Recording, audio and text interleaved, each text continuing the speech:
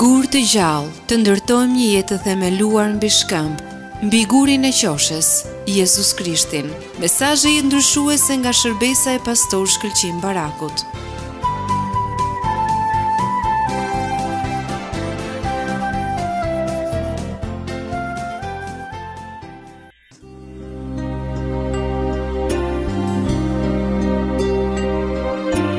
A nuk është e mjaftueshme të jesh i zgjedhuri i Perëndisë? Të jesh nusja e tij, kisha e tij. Ky është vendi i parë për një besimtar. Nuk ka asnjë pozitë tjetër më të rëndësishme. Por ne si njerëz rendim pas posteve, pas pozicioneve.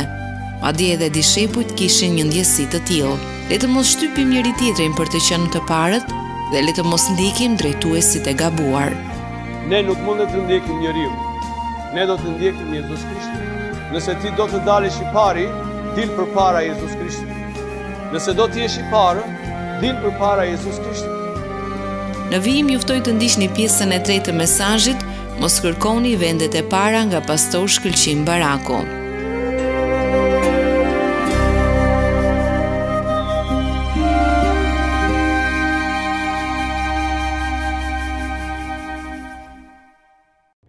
Unë kam marrë një vizë për herë të parë për në Greqi vetëm për të vajtur në një konferencë të AEP-së që bëhet çdo vit edhe që është konferencë kristiane dhe që ishte për lavdinë e Zotit në nëntëdhjetë e shtatën për herë të parë. Perëndia kurrë nuk do të bekojë kur ti shtyp një tjetër. Dhe çfarë bëjmë? Ne ecim përpara duke shtypur një tjetër, duke shtypur një tjetër, duke shtypur një tjetër. Jo. Dhe nga se vjen kjo? Kjo vjen sepse ne ndjekim njeriun. Në qoftë se ti ndjek Jezus Krishtin, ti e di që je nusja e Jezus Krishtit. Në qoftë se ti ndjek Jezus Krishtin, ti e di që je nusja e Jezus Krishtit.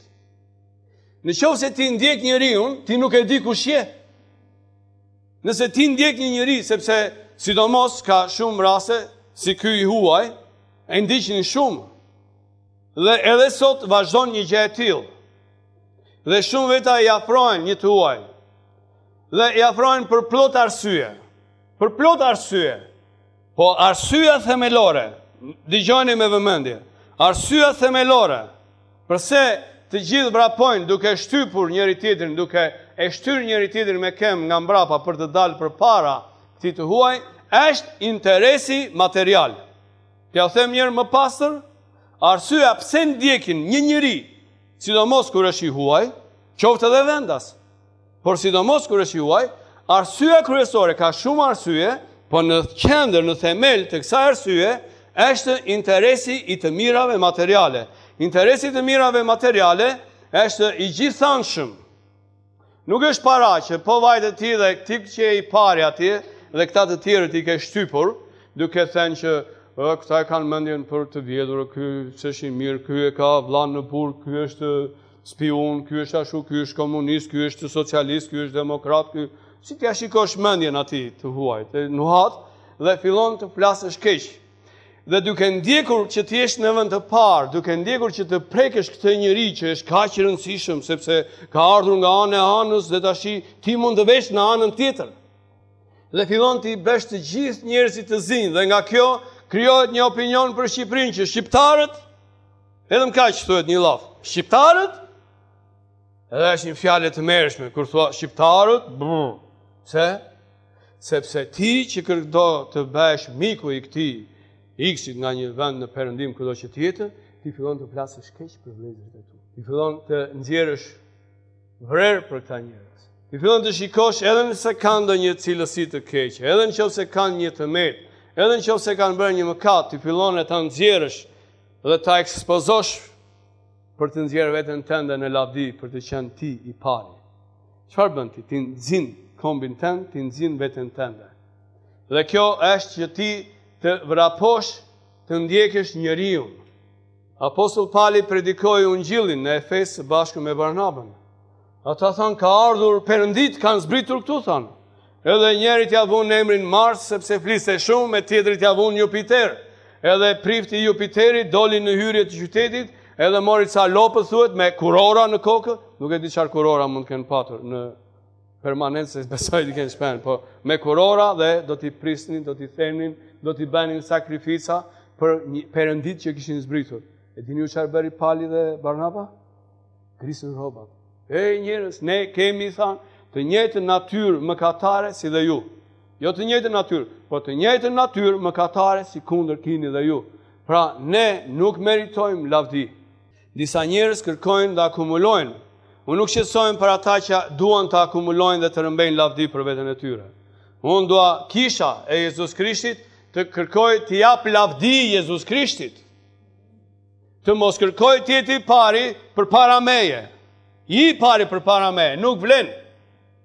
Nuk ka në asnjë vend në Bibël ku të thuhet, ndiqini apostujt e Jezus Krishtit.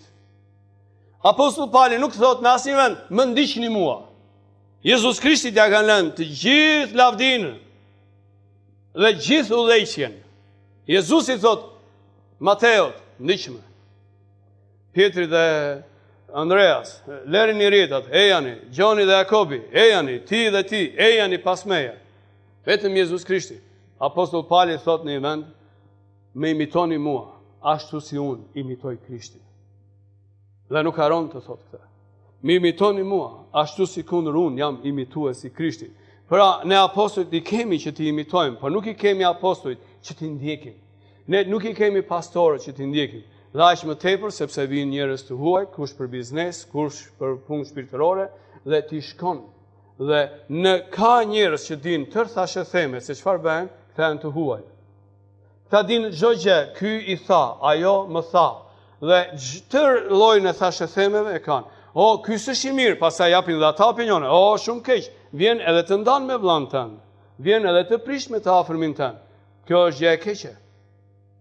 Ne nuk mund të ndjekim njeriun. Ne do të ndjekim Jezus Krishtin.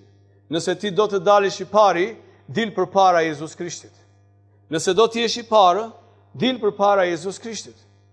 Në librin e veprave, një nga farisenjtë, kur po përndiqnin Pjetrin dhe Gjonin që deshin t'i burgosnin, theshin, dhe tha, kujdes, se ndoshta ky njeri është nga Perëndia, këta njerëz, Dhe po të jenë nga Perëndia, ju po luftoni kundra Perëndisë. Nëse janë nga nga bota, lërini, ata do të rrëzohen, edhe është njëfarë Teuda. Sepse pak kohë më parë u ngrit Teuda që thoshte se ishte dikush. Është në Veprat kapitulli 5 vargu 36 dhe 37. Ai thotë mos i trazoni se këta njerëz po të jenë nga bota do të jenë si ky Teuda, sepse pak kohë më parë u ngrit Teuda që thoshte se ishte dikush.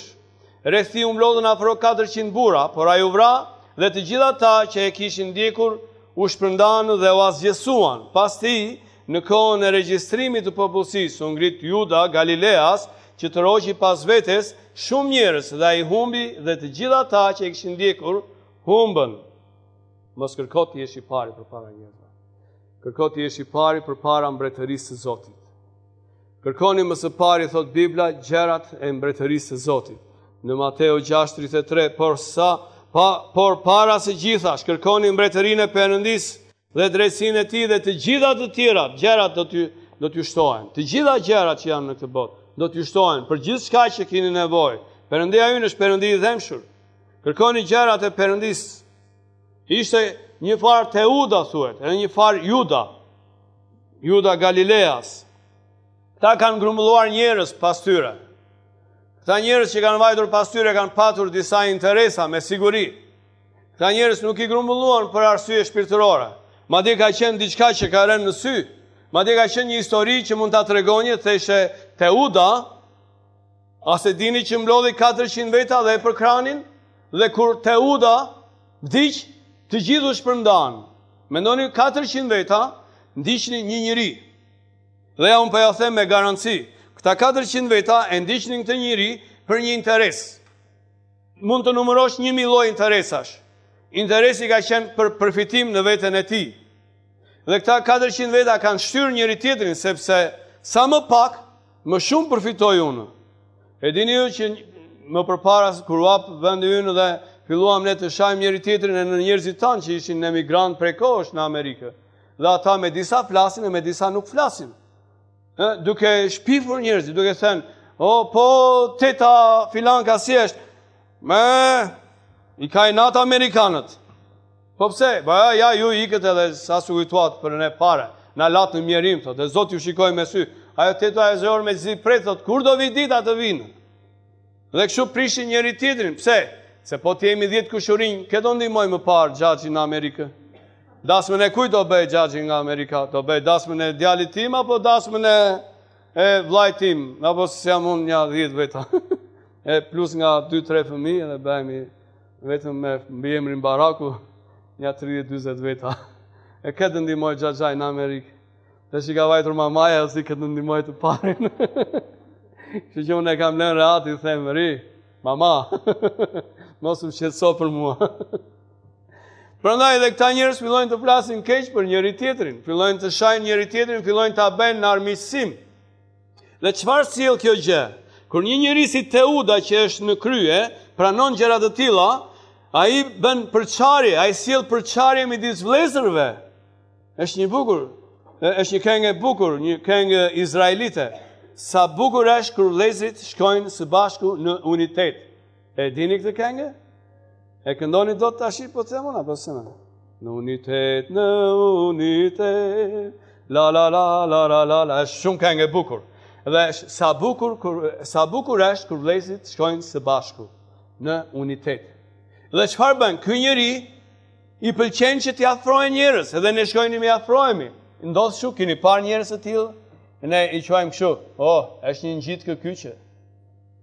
E, i thoni kështu ju? O, iu ngjit ky. O, iu qep ky. Dhe fillojnë të bëjnë të pështirë. Dhe çfarë bëjmë? Fillojmë të flasim keq për njëri-tjetrin. Fillojmë të flasim keq për vëllanë tonë. Fillojmë të urrejmë njëri-tjetrin. Dhe ja, vdes ky njeri, Teuda. Ose Juda Galileas. Dhe të gjithë shpërndahen, se shpërndahen këta. Këta ishin 400 veta së bashku. Kush i mbante këta 400 veta? I mbante Teuda. Nga ishte Teuda? Nga Vashtëmia? Nga ishte Teuda? Ishte nga nga Belortaja? Nga ishte Teuda? Vërini një emër ju, një Teuda që të mbajë 400 veta pas vetes së tij. Nga ishte Teuda? Nga Floqi? E? Nga ishte ky Teuda? Patjetër që duhet të ishte përtej detit. Mundësisht përtej detit. Po edhe këtej detit s'ka ndonjë gjë, edhe le të jetë në, në Gjermani e bëjmë kabull. Teuda nuk ishte nga Barçi, nuk ishte nga, nga Peshkopia, nuk ishte nga Korça, që t'i ngjiteshin 400 veta. Pa ik shko ti në një drekë në motra jote, në kushuriri tënd, e do të vijnë motrat e tëra. Po hajde ti nga Amerika, sidomos në atë kohë, e shikojmë sa do të kishe për drekë. Ne na erdhën disa njerëz nga Greqia, Dhe i kishim për drekë, dhe për drekë kishim planifikuar 1, 2, 3, 4, 5, të afërmit e njerëzit tanë. Kur na erdhën e 15 të tjerë, se kishin hall se mos ne i bllokonim atje. Ç'të bënim ne? Ne s'kishim drekë edhe për 15 të tjerë. Po edhe t'i thoshim që s'kemi për ju na vinte turp. Po s'iu erdhi turp atyre, thanë, s'ka gjë ne ulemi këtu. Ne hanim e pinim, ata rrinin ulur, na shikonin. Të vinte edhe zor. Pra ky Teuda, nuk është se na erdhi, po të më vijë mua kushuriri nga lushnja, nuk më vjen njeri të më bezdisë. Po po të më vijë kushuriri nga Greqia, do të vijnë, do më sulmojnë. Pra Teuda ishte një i tillë, mos rendni, ka shumë Teuda sot.